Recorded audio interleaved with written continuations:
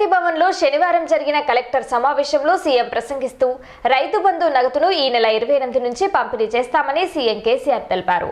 అప్పటి నుంచి పది రోజుల్లోగా లబ్ధిదారుల ఖాతాల్లో సొమ్ము జమ చేయనున్నారు. దళిత బంధు ప్రభుత్వం యథావిధిగా అమలు చేస్తుందని ఇప్పటికే ప్రకటించిన విధంగా హుజూరాబాద్ నియోజకవర్గం రాష్ట్రంలోని మరో నాలుగు మండలాల పరిధిలో లబ్ధిదారుల కోసం పూర్తి స్థాయిలో త్వరలో నిధులు విడుదల చేస్తామని వెల్లడించారు.